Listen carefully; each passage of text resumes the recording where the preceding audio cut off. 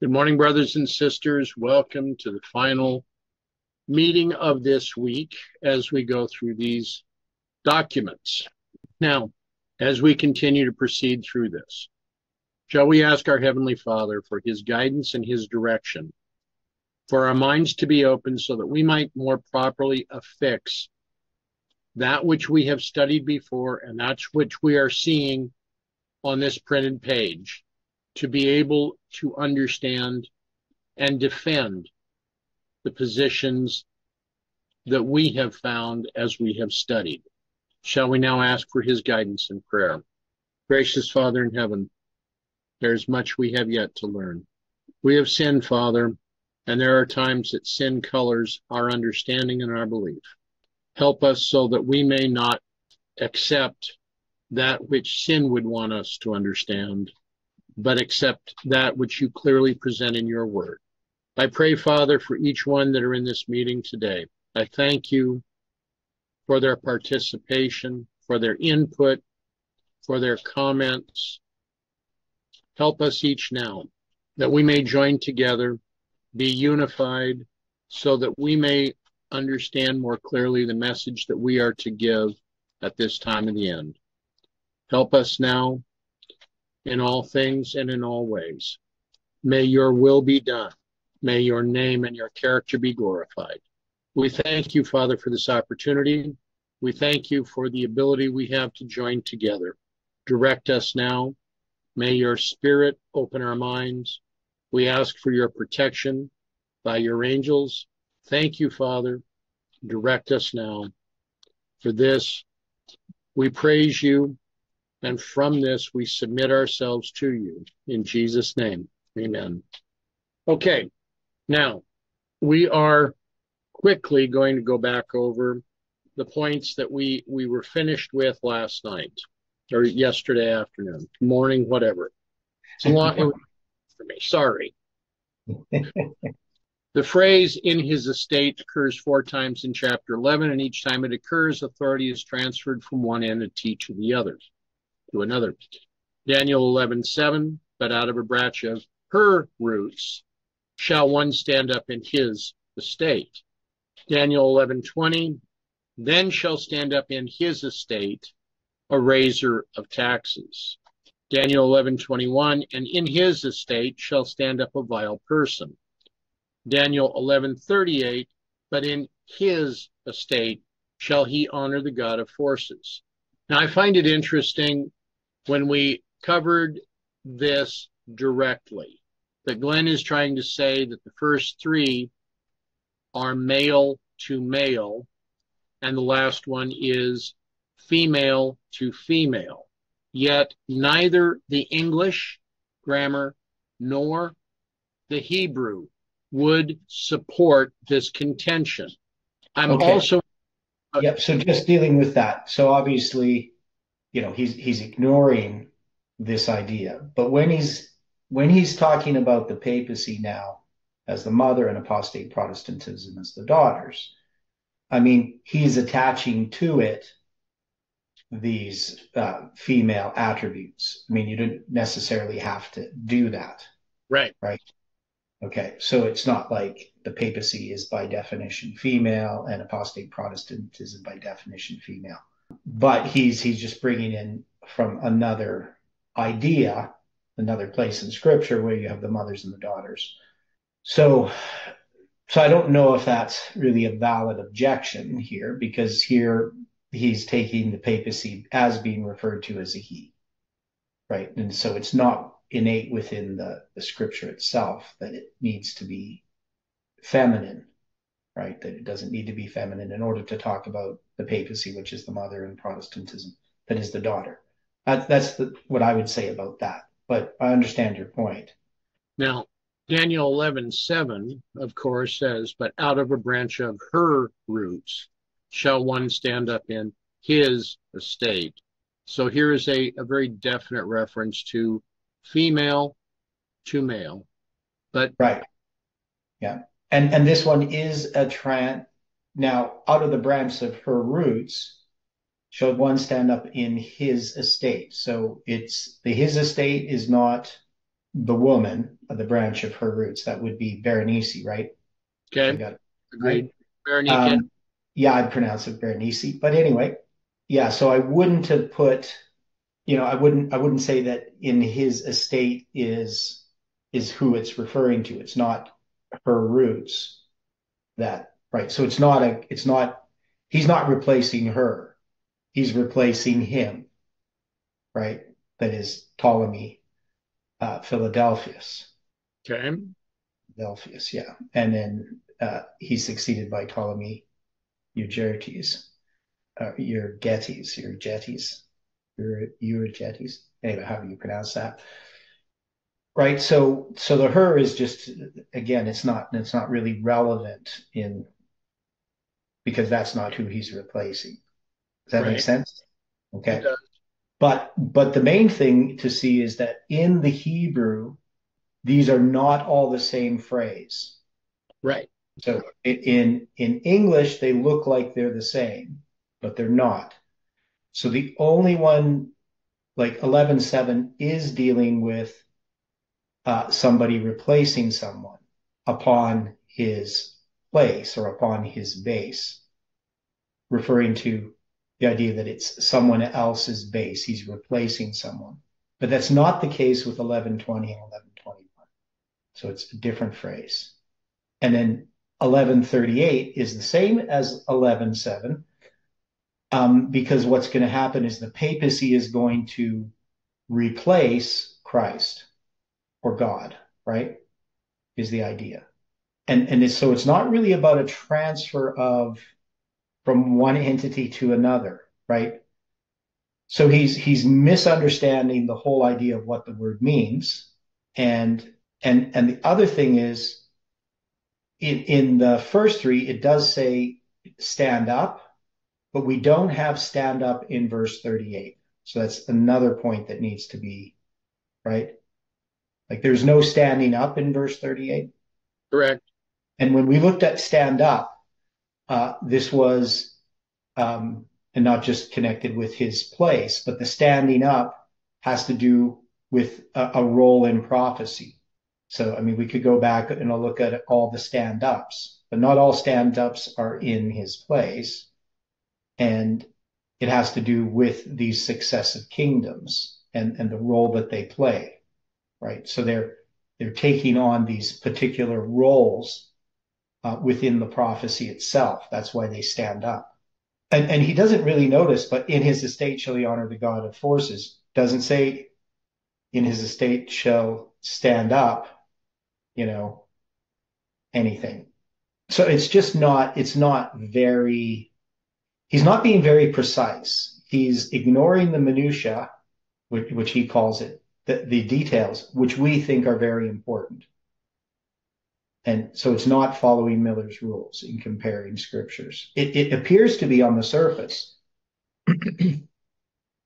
Even in the English, we should be able to see, though, that the fourth one is not the same as the first three. Right. Now, the point that he's attempting to make, I think, is twisting another point that has been well established about, I believe it's, I, I believe this had to do with the little horn, where linguistically it is referred to first as a he and then as an it. Well, yeah. So the he is going to be pagan Rome, the it which is the female form, right. is is going to be papal Rome in that in that section. I still don't think he's making that issue there. Like I understand what you're saying, but I don't really think that that's an issue here. Okay. Right? Just in in I, I, understand what you're saying. I, I know I'm kind of stepping on your toes there, but as I thought about it, because you mentioned it before, and then I looked at it and said, well, no, this that's actually not really relevant here because he's not he's not switching between masculine and feminine or anything. The text doesn't. And he just happens to be using mother and daughters. Right. He could have just said a papacy and apostate Protestantism and and that would have been you would we wouldn't even have thought about the gender issue. Right. Because the papacy isn't in, in this context, you know, we don't have the papacy always referred to in the feminine. even when it's in, in Daniel, right? Because he's going to be a mighty king, right? Or he's going to be the king shall do according to his will. That's all masculine. But yet it's referring to the papacy. So it doesn't mean you have to have feminine for any time it's referring to the papacy. But the other problem was how we looked at the verse itself. So when we looked at this verse, verse 38, we did a study on the God of strength, right? Ma'az, right? And that is a ref- reference to the true God, to Almighty God, right? It's not a reference to some kind of spiritualistic or pagan God right? Which it appears to you read the God of forces. It just looks, oh, like the God of forces. That's like some kind of, you know, pagan God of some sort, right? Okay. But, but, and also the sentence doesn't actually say that. It doesn't say, but in his estate shall he honor the God of forces, right? Like it doesn't, it's not the construction of the sentence. So it's, the King James didn't really do a good job translating it um, let me see here. Yeah, and and there's other translations. They they try to make sense out of it as well. So it it's not like it's um, it's an easy uh, it's an easy verse to translate, right? And and you focus upon mu- munitions, correct? But, and the idea is that this is God is our is our defense, right? That's that's the idea. The idea is defense, yes so the other thing is we have this even here in the King James where it says but in his estate. Now, now I understand that the vav can be translated as but, right? Um, that's the uh, the consecutive vav is is what begins that sentence. Yet that's not very common. There has to be a really good reason to translate it as but. Just because you know Hebrew doesn't really have the word but, right? Mm-hmm. So you, you, you have to look at all the syntactical relationships between uh, the sentences to and and the def you know the meanings of what it is that you're talking about if you're going to put it into English as but. So really, it shouldn't be but. It's just a consecutive vav. We usually just in Hebrew just translate it as and. Right. So he's in a sense in Hebrew they kind of do these run-on sentences. They just they keep adding this vav to continue that this is part of the same ideas. Does that make sense? Kind of like when you're a kid and you just say and all the time, you know, before a sentence, uh, because you're talking about the same thing. Um, so that's how it is in Hebrew. And then, of course, it, it says, and the God of strength, right? So that's how the sentence starts out. And let me see here, just. Uh, um, just looking at the Hebrew here. So when we go through this, and the God of strength upon his base shall they honor, right? Or in his place shall they honor. So the way that I understand that is that this is the true God, the Almighty God. They're going to honor him on his base, right? That is, they, they pro- pro- profess to believe in the true God but instead, they're going to honor, right? They're going to honor the, um, a strange God in the place of the true God. That's the idea that's here. So it's not a succession from one kingdom to another or anything like that. Right. So he says the papacy is succeeded by apostate Protestantism. That is definitely not what is described here in verse 38 e- even if you take it in the King James, right? You, you understand what I'm saying? Do. Okay.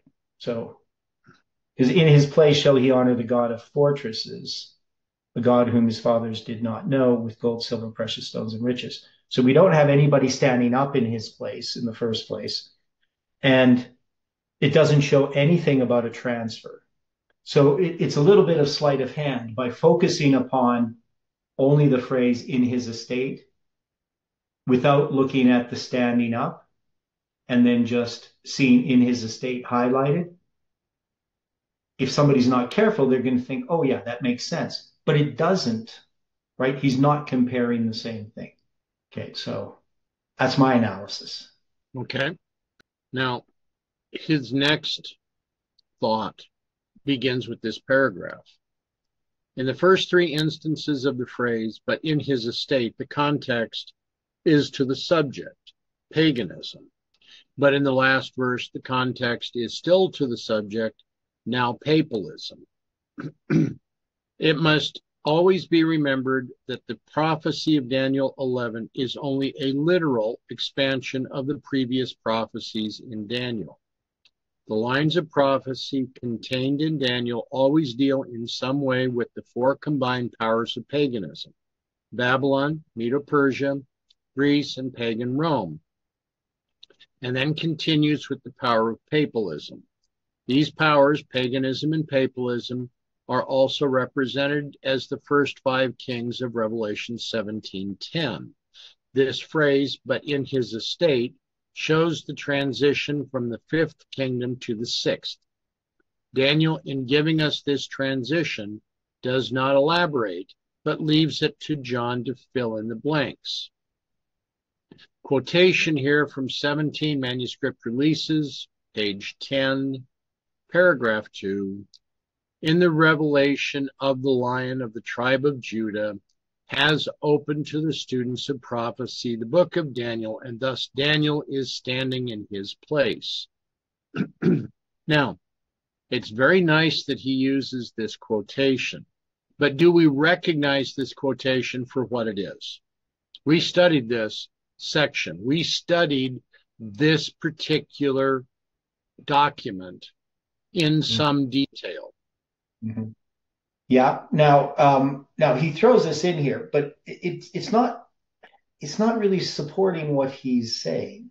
I mean, obviously we know first we're going to have the line of the tribe of Judah, who's going right. to unseal the book of Daniel, that little book in his hand. This is uh, Revelation chapter ten, right?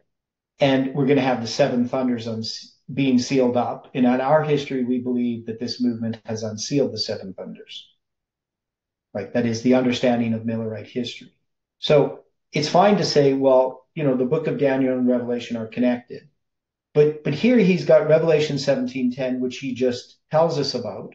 He hasn't illustrated any of this. He, he hasn't given us really a Bible study yet. In all of the stuff that he has done, I, I wouldn't call it a proper Bible study. Agreed. Yeah. And and so when he he he refers us to Revelation 17:10, I mean he's he's referring us to something that, you know, most people in the movement would think, but not everybody would think that. And we've taken the position that the five kings are not uh, these successive kingdoms in in the beast of Revelation 17 uh, you know, we have the seven heads and the seven mountains being Rome itself. The seven kings are not the seven mountains or the seven heads. So we're looking at, so we look at that differently. But he's, he's not, he's, he's telling us stuff, but he hasn't illustrated it. And definitely we don't, we don't see what he's seeing. Like, I mean, I understand what he says he's seeing, but I don't see that it that he should see that. He, he's just forced an interpretation upon Daniel 11 that, you know, and part of it, he's using some things like Uriah Smith, like the idea that it's all a literal prophecy. Right. Which it, it's, it's more direct, but you can't say that everything has to be literal because we're dealing with things that are spiritual after the cross. And so in the context of Daniel 11, we say, Obviously, the king of the north is not literally the king of the north, and the king of the south is not literally the king of the south because Greece no longer exists. And so we would need to understand that as a symbol, right? Which is the whole thing that he, he misses. If we understand that the battles between the king of the north and the king of the south, especially Raphia and Panium, those two, two battles, become typical of 1798 and 1989 you know, then then Daniel 11 makes sense. And and so when people, you know, don't want to look at the de- details, they just dismiss them as minutia. They take away the meaning of the text itself, right? So we we recognize all these details are important, and and he just ignores them. You know, it, it's it, it's just all over the place. Like, agreed. It is. It is a very scattered presentation. No. You know, and I've said before that when when people do this type of, of thing, if you don't understand your topic, it's easy to become scattered. Right. Right. You know, I teach music theory. Now, when I teach music theory, I can teach it at all different kinds of levels, right? Because I'm, I'm dealing with whatever audience I have. If I'm, you know, have an introductory class on music theory, you know, it's the first class, you know, I, I'm not going to bog them down with tons and tons of details that they're not going to understand. Right. It doesn't mean that I've ignored the minutia, right? All of that minutia is necessary for me to understand to in order to present these ideas. Right? If I didn't know the minutia, I would end up doing something that's very scattered because I wouldn't know the connections. I wouldn't know how to present it at different levels. I might be able to just, you know, recite something from a textbook that's done it for me. But if I have to now think it through, if I have to answer a question, then I'm not going to know how to do that. And and the other thing, you know, so I've been thinking a bit about, you know, how he has presented things. So the way that I would present something um, you know, if I'm writing a paper on something like this, I want to, and I've talked about this before, that that there's, you know, the person's train of thought. You need to sort of follow that. But the thing that particularly creates a train of thought is is that questions need to be opened that then are answered. Does that make sense to people? Correct. Right? Because in in one ways you're you're asking questions right? That's why you know you teach sabbath school you ask a question right? You you want people to to think. And as they think they might start developing some answers. And then you deal with those answers that come to people's minds right? So sometimes they you know you ask a question and there are certain answers that you know that you might get on a particular topic and and some of those answers you know um, that people haven't thought about them. They're just going to give these rote answers to things. And so you want to direct them to think about it. So you ask them a question about their answer. And and then they start thinking about it. Well oh maybe my answer doesn't really make sense right? So you help them think through. And, and when you when you present something you're wanting that person to to think it through you, you can't just force upon them your understanding because if they think it through and they conclude it, then it's something now that they own, right? Right. Now, it's hard to do, especially when you have a group of people, but there's not enough questions in his writing. He's, and he's telling us things where our mind would not naturally go, right? If he's going to try to convince someone of his view, even if he was correct, he's doing a terrible job. You know, and, and it's not it's not to criticize him because one is it's it's we're trying to understand what is the problem with this. So I mean, we know there, there are problems, but particularly what is it? And what can we learn from it in our, in our own communication with others? And and you know, definitely we have lots to learn on how to communicate ideas to other people. Sometimes we're good at it, sometimes we're not, especially when there's resistance or we're maybe insecure about what we think.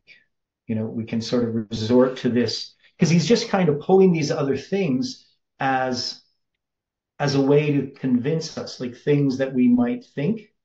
You understand what I'm saying there? Well, like there's no reason to mention the first five kings of Revelation, but he knows if people agree with him on that point, that that might help them accept his idea. Right? He's done this a lot through. I think that's where he gets this scatteredness. It's like I don't really have a good argument here, but it's like this other thing that I don't have time to look at that you might agree with. Does that make sense to people? Because I, I don't know how everyone feels about this study that we're doing here. Like the, the productivity of it? Um, are we learning things from it? Is is this helping others to understand how we can assess divergent views when mm-hmm. we encounter them. Yeah, yeah, that's definitely part of it. And then also understanding ourselves how we communicate. Right. Because we have, again, this struggle that we have to share this message with people. I mean, we want we want to get better at sharing, right? Right. We want to be effective, and and yet, you know, there's you know, one is people are distracted by so many things nowadays. There's so many other videos out there, uh, so many other voices, and you know, there's people like Glenn here is writing papers, right? So people are are hearing all this information, and it just becomes like in William Miller's dream. You have all of this rubbish. Right. Counterfeit coins and jewels and garbage and everything piled upon truth. And people have to sort through it. They have to find these gems. And of course we need you know, the lion of the tribe of judah to come in and uh, you know sweep away all the rubbish. The dirt brush man. So we need that for ourselves but also you know god has given us these tools to help others so i'm hoping that we've learned from this you know, and people can comment on the video, you know, people are watching the video, whether they think that this has been productive. But it is, for me, it's really frustrating. I mean, I, I would say borders on a depressing, just because you see this barrier that we have to to deal with when it comes to the thinking of others, the, the difficulty of language and the difficulty of these ideas. Yeah, there's just so much that's that's in the way. Like if I could talk to Glenn, I could sit down with him personally and you know, go through things and sort through what he's thinking and and show him why he's wrong. you know, um, but you know, I could help him think it through, right? Like as a guitar teacher, as a teacher. You know, what we're supposed to be doing is help people, helping people think because they need to think, right? And and he just seems unguided in his thinking. It's it's like he has a mind that just wanders on what he thinks is important or whatever idea comes into his head, but he has never really figured out how to examine it. Another illustration would be you know, when I teach guitar, what I'm teaching people to do is how to teach themselves guitar, right? So I'm teaching them how to analyze their technique, you know, how to practice, right? How to address all of the little minutia while at the same time dealing with the bigger picture of expression, right? So how little details affect how a piece of music sounds, right? And and and they need to learn how to listen to what they're playing. They need to learn how to examine their technique. They need to learn how to play a piece of music that they've never heard before. Now, how do they interpret all of the the symbols that are there? Um, do they understand you know like even the title of the piece what that means? Like if it's based on like a, a jig or a gavotte or something what does that mean? A minuet? You know they need to know what that means right?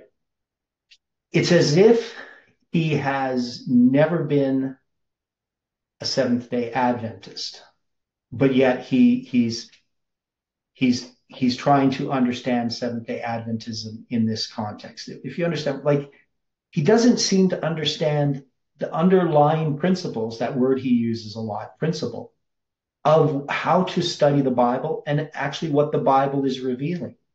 So, yeah, I, I'm frustrated, as you can tell the the situation here.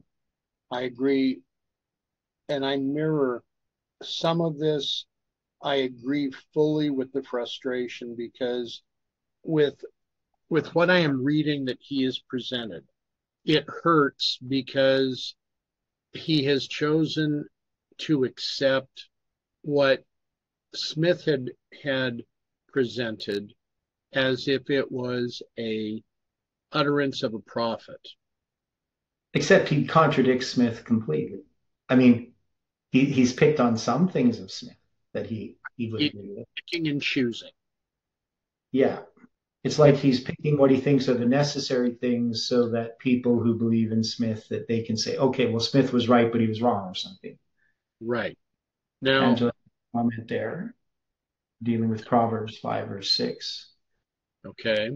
Yeah, well, Angela's talking about, and Angela can be a little bit scattered too. I, I think she knows that. So in Proverbs 5, verse 6, uh, I'll have to look it up here quick because I don't have that one memorized. She does not consider the path of life. She does not know that her ways are unstable. And this is, of course, talking about warning against idolatry, right? My son, pay attention to my wisdom, incline your ear to my insight, that you may maintain discretion and your lips may preserve knowledge. Though the lips of the forbidden woman drip honey and her speech is smoother than oil, in the end she is bitter as wormwood, sharp as a double edged sword. Her feet go down to death, her steps lead straight to, to the grave. I'm reading a different translation here. She does not consider the path of life. She does not know that her ways are unstable. This is, I should actually read the King James. I was just looking at another translation here. Less, so this one's actually, uh, the King James is less clear. My son, attend unto my wisdom and bow thine ear unto my understanding, that thou mayest regard discretion and that thy lips may keep knowledge. For the lips of a strange woman drop as an honeycomb, and her mouth as smoother than oil. But her end is bitter as wormwood, sharp as a two-edged sword. Her feet go down to death, and she her steps take hold on hell. Lest thou shouldest ponder the path of life, her ways are movable, that thou canst not know them. So actually I like this other translation better for that verse six. Was that um, young literal? No, it was uh, a Berean study Bible. She does not consider the path of life. She does not know that her ways are unstable. I like that uh, translation there. Uh, with Young's, he has uh, the path of life, lest thou ponder. Moved have her paths, thou knowest not. So I see why the different ways to translate it because it's kind of a bit obscure in the Hebrew. But but the point is that this woman is is a church, right? false right. doctrine, right? all of those things. That and and when I think about you know um, where it says you know uh, her lips drop as the honeycomb and her uh, mouth is smoother than oil. You know, we can see honeycomb. What does that represent symbolically in Scripture? Isn't that like the Holy Spirit? God's word. It's it's God's word, right? Yeah, and then and the oil is the Holy Spirit. Got it. And and so I, I, I think the thing that really bothers me is that he's written this stuff out. That is, you know, like I write papers. When I write a paper, it's it's organized, it's logical. Um, you know, definitely my goal in writing the paper is really clear, and I'm I'm helping that person to to understand a topic, whatever it is. I'm I'm trying to communicate to someone. And um, but you can have something that has the form of doing that, but not being doing that, right? So it's not doing that. And that's what his papers are like. It's like, you know, somebody just superficially looking at a paper can say, oh, here's a paper and here's another paper. They're sort of equal. You know, they look organized. You know, you, you just, you don't read the content, but you just look at the structure and you can say, oh, you know, he's got like subheadings and, and point forms and things are bolded out and but yet there's nothing there. And so it's, it's, it's like this woman, right? Who, who has an appearance of having something, but it's really unstable. Right. Now it scares me, you know, there's a number of different levels in which one is I don't know Glenn personally, so I know for you it's more difficult. But you know, I worry for people, right? When I see that that that somehow people are satisfied with this sort of shallow way of looking at information that they have never, they've never, and, and I think the key, you know, getting back to what we had talked about in some of the other studies, the key really is that when I study, the whole purpose of study is for God to reveal to me my spiritual condition and his ability to save me right? That's why we're studying. Right. And when I see people like, you know, talk about like they give lip service to the three angels' messages, but I don't see anything in what they have presented that's redemptive, right? That, that should be bringing conviction. Then, then I, I wonder why he has written this. I mean, that's, that's the first thing, I guess. what is his purpose? What is he trying to show? You know, may, and maybe sometimes, you know, I'm not always good at doing that either, but I always think it when I'm writing something. I'm always thinking about, even if you look at some of my drier papers, like the paper I did on uh, Leviticus 23, dealing with the wave sheaf offering. I mean, the whole undercurrent of that paper is really about us learning how to listen to others and um, to recognize that sometimes we take positions in opposition to others that God, if we had studied together, God would have helped us to see the truth. So even though it's a paper on Leviticus 23, which is a rather dry topic, you know, dealing with the timing of the wave sheaf offering and the Passover and so forth, the purpose of the paper is spiritual, right? And, and you can't mistake that from reading the paper. But I don't see anything spiritual in the sense of redeeming, you know, part of the gospel. I don't see the gospel here. It's like there's something wrong. Agreed.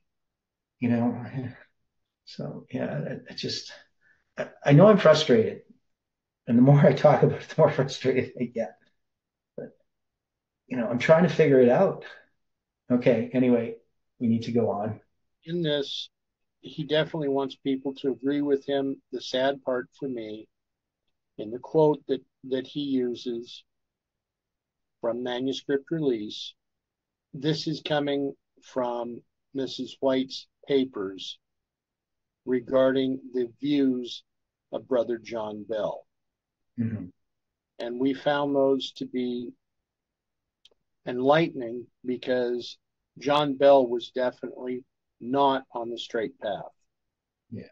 And I'm just I I'm concerned for him that this these references and these use of Smith's opinions and now this from the warning about Brother John Bell is just I mean there's a lot that's being said to me that that he's not clearly studying in a proper manner. Now, his next paragraph. In each of these four texts, a superior is handing to an inferior. The first three are man to man, but 1138 is woman to woman, showing again that there has been a transition from the secular kingdoms to the religious kingdoms. Right, which he wouldn't find from that because it's talking in the masculine form. There would be no reason that he would uh, say that. Correct. Yeah. The original transfer from the secular to the religious occurred in verse 31, showing the transition from the civil to the religious powers, paganism handing off to papalism.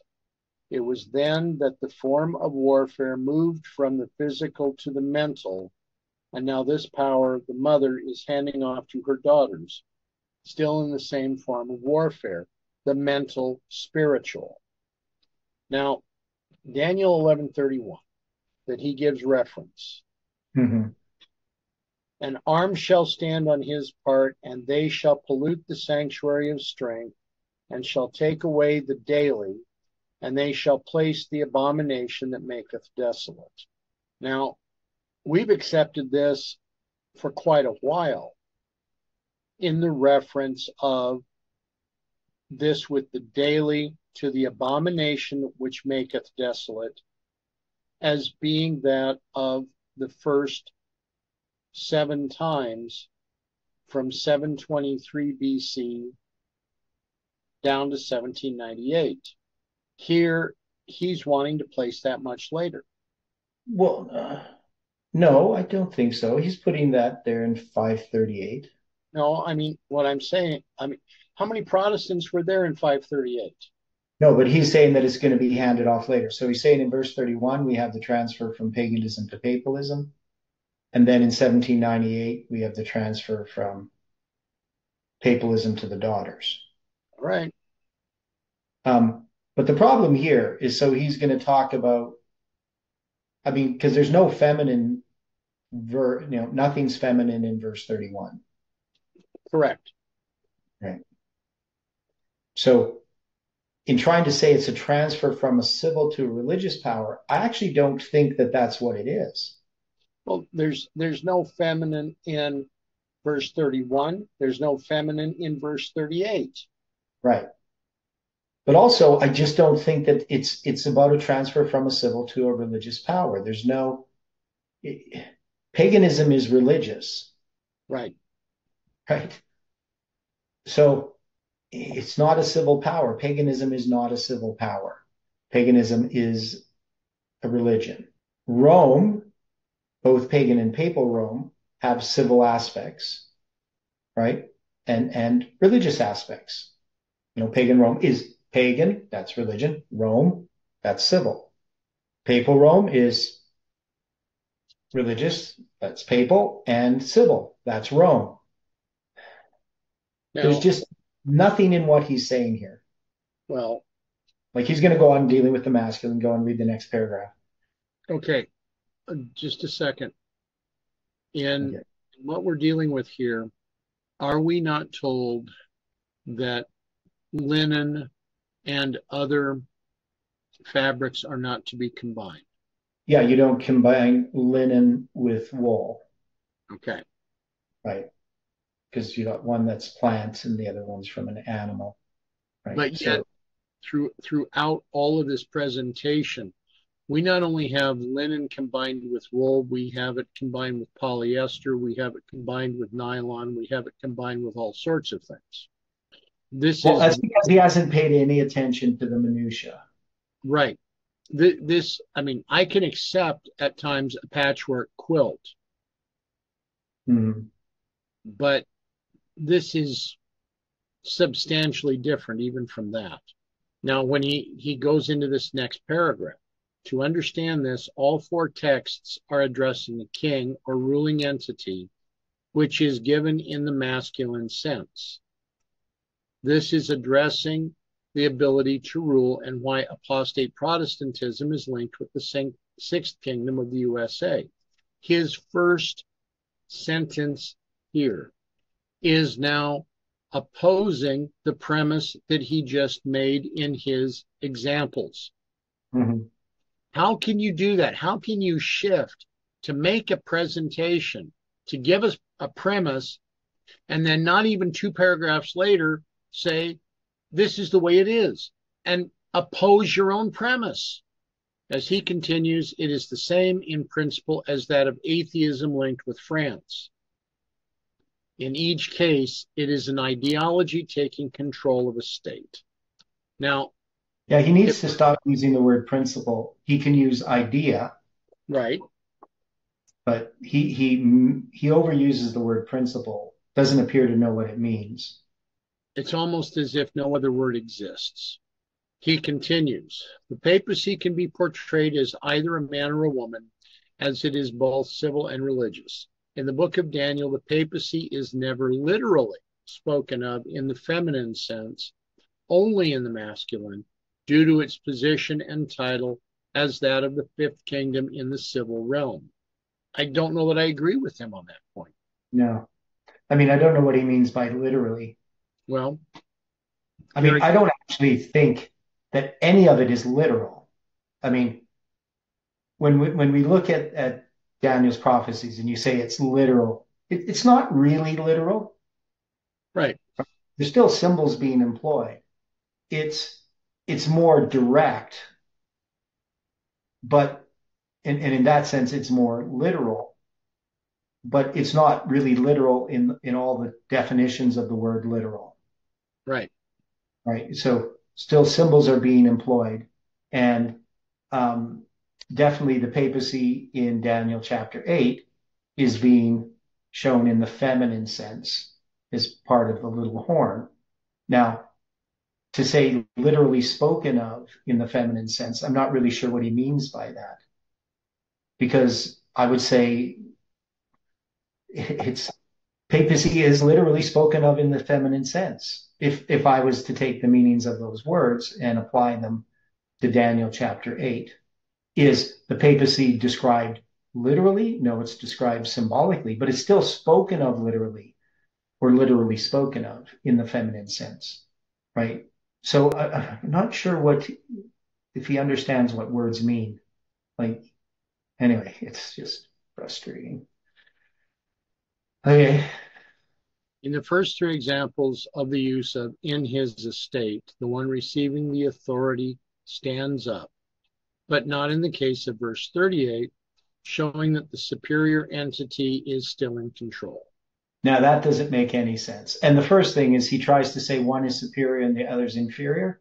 Right. I don't get see where he gets that from at all.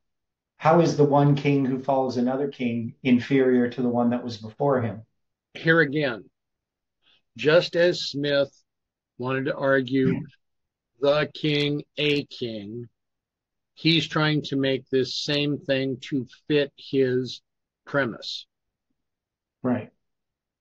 And and he's not looking at all of the stands up, right? He's only looking at uh, the stands up within his estate. And then to say, well, the reason why it's not here is for this reason, there's no way that you could just conclude that, right? It, it's a type of circular reasoning, right? He's he's just he has his view, and he has to address the fact that stands up is not there. But that wouldn't be that wouldn't be a good reason to say stand ups is not there, right? Because it's not just in his estate that's showing a transition, it's the standing up that's showing the transition, right? Right? It's just where is he standing up? He's standing up in the place of someone else. But right. it's not the case in verse 38. And and to say that it's because the superior entity is still in control is is it's ridiculous. Like it's it's well, it, it, would be like saying, okay, uh, let's say Trump is elected but Kamala Harris remains as vice president.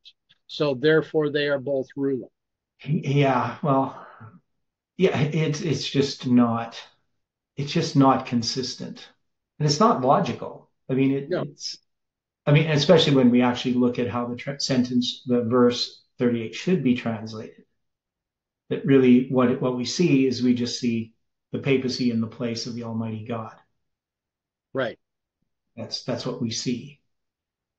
But he hasn't done a proper study, right? Like I, I think that's the thing that bothers me the most is this this uh, reference to Miller's rules and then the complete abdication of any use of those rules. And, and, and if he is trying to use them, he's using them in the most shallow sense, which actually doesn't support his case that you actually follow through and do the word studies you're not going to come to the conclusions that he does. Now, he continued, in other words, even though the papacy is handing off to apostate Protestantism, it is still the one who is in main who is the main administrator of the overall strategic plan. The plan of the papacy is to bring the world back to a system of monarchy as opposed to democracy.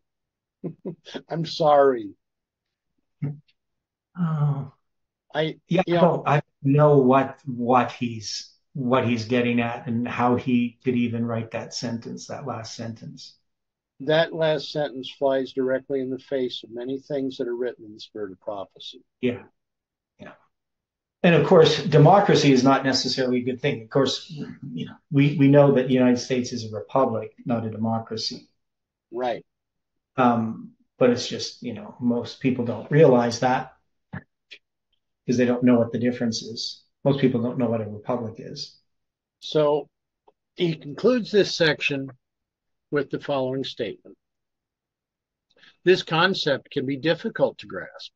Even though the papacy hands off to her daughters, she is still the one in control. Because of this, the papacy remains as the principal subjects of from verse 31 through 45. It should be noted that paganism gave to papalism its power, seat, and great authority, but not so with apostate Protestantism. Protestantism only exercises or uses the power of the papacy. Here he wishes reference to Revelation 13:2 and 13:12. Yeah, and where, of course, we would not say it uses the power. Um, it's maybe going to use great authority Because what is the power that she hands over? We know the seat is the city of Rome. Right. It had the power to hand, the power that it handed over was its power, its seat. The great authority wasn't its great authority to hand over. Right. Right.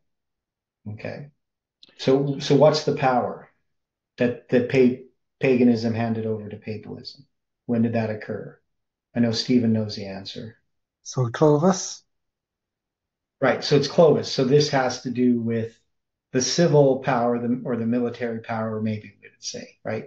So we're going to have December 25th, 508 is the date we're going to give. Now, the seat of Rome, that's going to happen earlier. And of course, we have the donation of Constantine, which is, uh, you know, a fake document, but but the idea is still there. So did the papacy that that power, that civil now we could say, I guess, you know, apostate Protestantism is the power of the papacy. That is, it is going to be the civil power. So maybe that's what he means, right? But that's really not given from the papacy to the United States.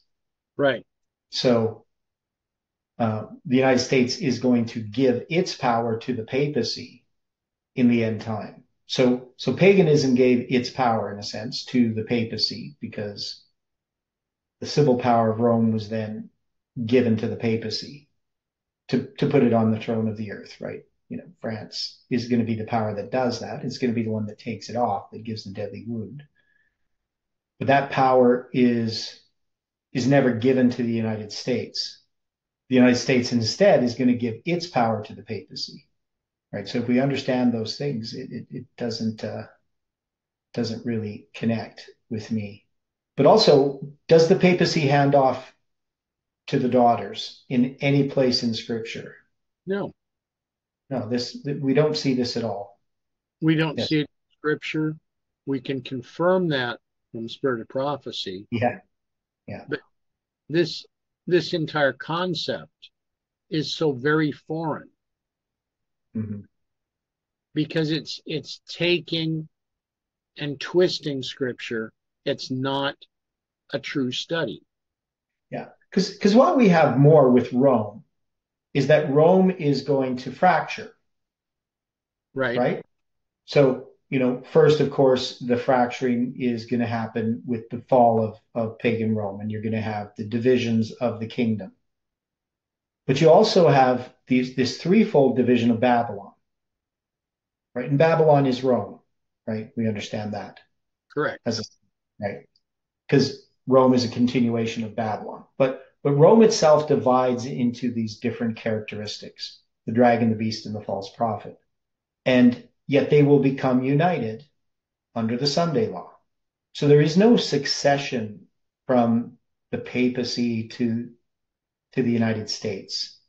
There's just this fracturing of, and, and you can see that fracturing first with the Protestant Reformation and then with the, the French Revolution, right? So now that kingdom that had once, the papacy had once had, the world, is now fractured into these different elements, but they will come together, right? That threefold union. But there isn't a handing down or passing over or a transition of power from the papacy to the United States.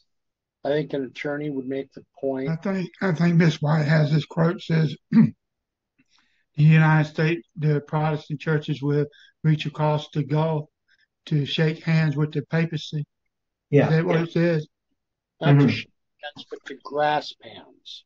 Grasp hands. I'm sorry. Yeah. Well, there, well, there's two different quotes. So there's the five T quote and the Great Controversy quote and they switch around abyss and and uh, I guess they switch around uh, which which ones the United States uh, grasps hands with first. But and we looked at that before, why the context of what's being talked about, why it's done in that order, because they're not really. It's not one where she's quoting herself. They're actually completely different topics, but she uses the same phrases. Um, but yeah, so these are separate powers that were once all part of one power. Babylon is divided into three parts the dragon, the beast, and the false prophet. And the United States is the one that brings these together. It creates the image to the beast. So, you know, do the globe are the globalists the one who unite the world and give the Sunday law? I don't believe so. No, they're not, right? It's the United States. It's not the papacy. It's not the globalists. It's the United States that causes this to happen. Right? Now, we can argue, well, the papacy is behind it all to some degree, but this is something that's initiated in the United States. The United States is going to be the foremost in doing this, right? Without the US, this wouldn't happen. And and we're seeing, you know, presently all this stuff happening in the United States, you know, with this election and everything. And we're trying to figure out exactly how is this going to unfold? How is this going to lead to a Sunday law? And and I think that within Adventism, there's a lot of misconceptions about how that Sunday law comes about. Um, now, in this paper, um, we're going to find, you know, we don't have part number 13 yet, and we still have more in number 12. But, you know, he's going to state that the, the king of the north and the king of the south are just in talking about this. He says he's going to explain in the next paper, but it's going to be uh, the United States and the Seventh day Adventist Church are the king of the north and the king of the south. Right. Which, of course, is ridiculous. But and, and that they're godly powers. How is the United States a godly power? Especially in giving the situation from scripture and the spirit of prophecy, because if the United States is going to reach its hand over the abyss to, jo- to grasp hands with the papacy and to grasp hands with spiritualism, there is no way it could be a godly yeah. power. And the Seventh day Adventist Church is not a godly power. No. But the Seventh day Adventist Church is not involved in that prophecy. Yeah, I would agree. Correct so, you know, especially if you want to put it at the time of the end being 1798. Right. So, but anyway, let's go on. We got about 20 minutes left. I, I want. I can I ask a question? Please. Yep um, Dwight, um, can you explain why the Seventh Day Adventist Church is not a godly power? Okay. I'm just asking a question. I, I know that you are. So, brother, if, if we were to use the same um, logic that we have we've been addressing, that Christ always shows the end from the beginning, right? Right when Christ came to this earth, was he accepted by his people? No. Was the Jewish church at that time? Okay, I see where you're going. All right. going? Uh, yeah, I, I, understand. Yeah. Is, is that logical for you? Yeah, that's lo- that's logical. I just yeah. wanted, um, I just want to think it through in my head. Okay. I, I would also think it's difficult to call it a power. No, it's it's impossible to call it a power. Yeah. Because it has no power. Okay. Because yeah, it's not a, it's not a civil authority. Right. All right. Good I mean, deal. Does the Seventh Day Adventist Church have any authority to set speed laws? Does it no. have does it have any authority to give judgment it doesn't have any civil authority. No, I don't have no civil authority. Did You're the, right. Did, did the Jewish church in Christ's time have any civil authority? No, it was Rome that had the civil authority. Thank you.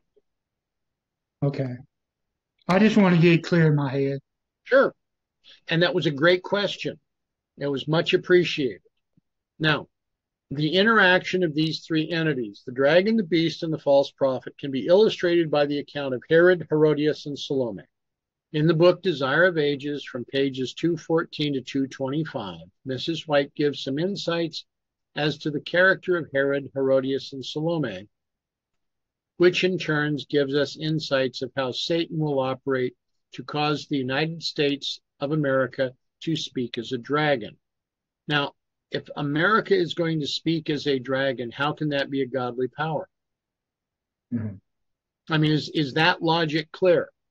Yeah, but we don't know what he's going to say in his article number 13. So maybe he has some way around that. But uh, okay, go on with this.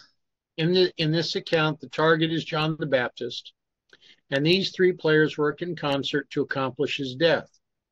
John is a representative of God's people, and as such, he is the specific target of these three entities. Of these three, two are unsuspecting, and one is the orchestrator. I would say two, two are orchestrators and one is unsuspecting. That would be a more correct comment. Yeah. The dragon represents the civil power under the control of Satan. In our case, that of the USA, which is portrayed by Herod. The beast represents the papacy, portrayed by Herodias, and the false prophet represents apostate Protestantism that is fully matured into spiritualism, portrayed by Salome. Herodias is the mother and Salome is the daughter. It is interesting to note that Herodias was acquainted with the weak points in the character of Herod. Review and Herald, 11th of March, 1873, paragraph 3. In other words, the papacy understands the weak points of our U.S. Constitution. Here he's introducing something altogether different from anything he said before, and he just wants us to accept it. Mm-hmm. The character of our nation is expressed in the Constitution and the founding documents. This becomes significant when understood in the context of papal involvement in our government. At the time of this writing, the papacy has and has had for a long time the majority of the justices in our Supreme Court. When researched, the percentage of Catholics in both houses of the Senate and the state are greater than their percentages in the general public. Georgetown University, established in the very heart of our nation's capital, is world renowned for its education in law and the courses it offers on how to influence public policy. She, so first is um, before you go on, there is no weak points in the U.S. Constitution, and there's no weak points in the Bill of Rights. Right. The weak points lie within the people of the United States. Yep. Agreed. Because a republic is strong Amen. as as uh, the conviction of its citizens. Sort of relates to Benjamin Franklin and, and his the question that was uh, asked him as to mm-hmm. what type of government they would have. Uh, he said a republic, if you can keep it. Yep. Agreed. Mm-hmm. Historically accurate quote. Very nicely done. She knew that under ordinary circumstances, while his intelligence controlled him, she could not obtain the death of John. Are we to twist these words? I would think not, but the English is fairly clear. She, referring to Herodias, his, referring to Herod, him, referring to Herod. But why can't we insert Caesar into this? I mean, this would keep with the logic that's being used in the in the past in the paper. When the Sunday law is first instituted, our government is still in control is still controlled by the Constitution, which guarantees our freedom to worship according to the dictates of our conscience. The papacy knows that while the Constitution is fully intact, it cannot of itself secure the death of those who have committed the same offense as that of John, pointing out the illicit marriage of church and state. Does it look like this is going to be the point under which a death decree is going to be promoted the illicit marriage of church and state. I, I don't agree with this. Herodias knew that by direct measure she could never win Herod's consent to the death of John, and she resolved to accomplish her purpose by stratagem. Desire of Ages 221.1. Now, if you note here in the blue. She knew that under ordinary circumstances, et al., he chooses not to provide a quotation. Here he does. But he wishes for us to look upon the definition of stratagem. Stratagem is a noun. from the Greek to lead an army. An artifice, particularly in war, a plan or a scheme for deceiving an enemy. Webster's 1828 dictionary. Now, the question we must ask ourselves is this a valid point for us to consider at this time? Now, as I'm uh-huh. sorry, go ahead. I'm just not sure why he thinks that's significant. Well, here's here's the problem that I have. There are two definitions to stratagem. Right. Yeah. He wants to make use of this one, saying an artifice, particularly in war, a plan or a scheme for deceiving an enemy. Yeah. Where it also means an artifice, a trick by which some advantage is intended to be obtained. Correct. And it's the second definition, the secondary rather than the primary, that would would fit better in the way that Mrs. White has written this. Yes, because it's definitely not a war that's being talked about. Correct. Yet he wants us to consider this as a war. Mm-hmm. Here's, I'm not sure why. Right. exactly. It's like he doesn't follow through with the thought he he's hinting at something, but he's not telling us what where why he's going that direction. Here is where Salome comes into play. Herodias could not directly cause Herod to execute John the Baptist, and now Salome is employed to provide the needed assist. Salome was in the first flush of womanhood, and her voluptuous beauty captivated the senses of the lordly revelers. It was not customary for the ladies of the court to appear at these festivities and a flattering compliment was paid to Herod when this daughter of Israel's priests and princes danced for the amusement of his guests. The king was dazed with wine. Desire of Ages 221.2. Herodias instructed Salome to dance before Herod, realizing that Herod, dazed with wine, would be more likely to grant her wish for the death of John. In the Bible, wine represents either true or false doctrine. And Herod being dazed rather than enlightened represents the USA coming under the influence of a false religion. I don't see a proof. I don't I, I don't see anything that's offering for this. It, it just how can how can he make the application that Herod is the USA? Yeah, well, yeah, so I mean, we can take the position. You know, Herod represents the Protestants of the United. Uh, let me see what. How do we understand this? So Herod represents the ten kings, right?